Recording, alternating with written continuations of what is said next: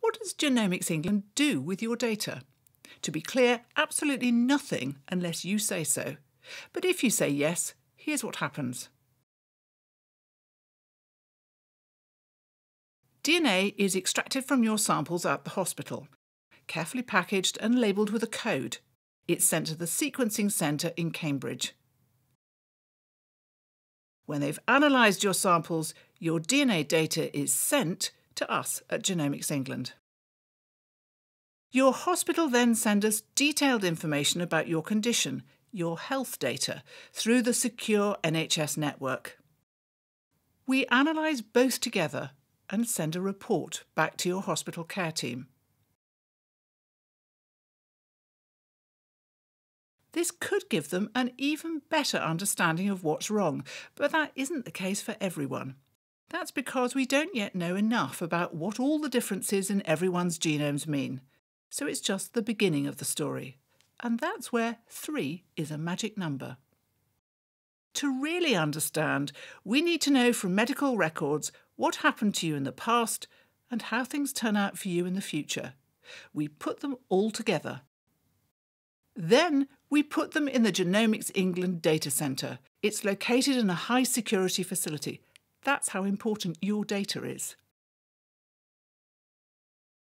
Having 100,000 genomes and being able to compare the data from 70,000 people gives us superpowers to do the scientific research that's needed. Before we let research scientists look at this data, we remove anything that might directly identify you. Scientists have to tell an independent Access Review Committee exactly how they want to use the data and why. They look at their request very carefully, and we check the applicants out. It can only be for health, and we only let them look at the research data they need. They have to go through a secure login. They can't copy or download. The data stays right where it is in the data centre at all times. Genomics England monitors and records what they do. The scientists look for patterns and clues in the data they're not interested in finding out who the data came from.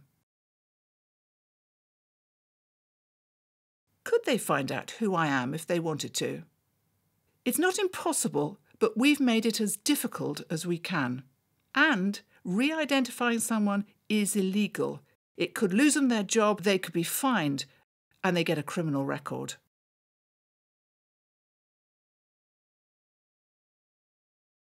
What will the scientists do with the data? They'll all work together to understand which differences in the genome are important or cause health problems. These differences could tell your doctors which treatments would work best for you and other people like you in the future. Scientists from industry will use the data to help understand how to use current medicines better or develop new drugs and diagnostic tests. It will take some time but having all this data will help them do it much more quickly. These treatments will be very effective because they'll be precisely tailored to an individual's needs. So, patients will get clearer clinical reports. Doctors will understand why diseases occur and be able to treat them better. Researchers will be able to develop new medicines and treatments. That's why Genomics England is putting all this data together as part of the 100,000 Genomes Project. Your data makes a difference to you and to generations to come.